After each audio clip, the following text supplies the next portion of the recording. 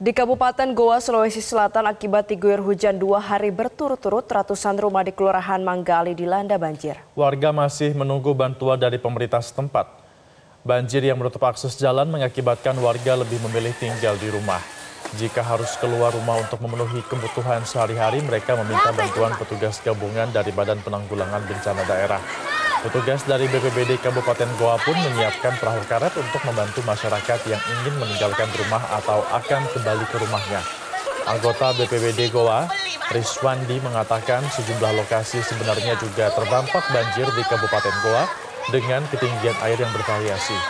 BPBD Goa tengah mengidentifikasi semua lokasi banjir dan mendata bantuan apa yang dibutuhkan oleh warga.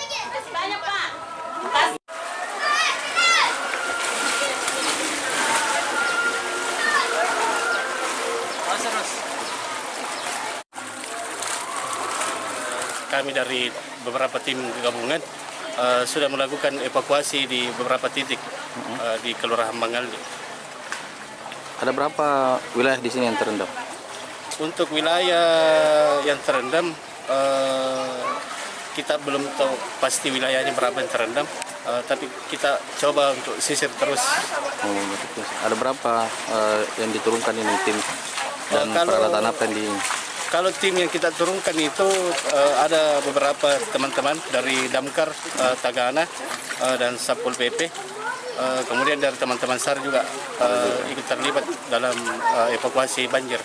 Jelajahi cara baru mendapatkan informasi. Download Metro TV Extend sekarang.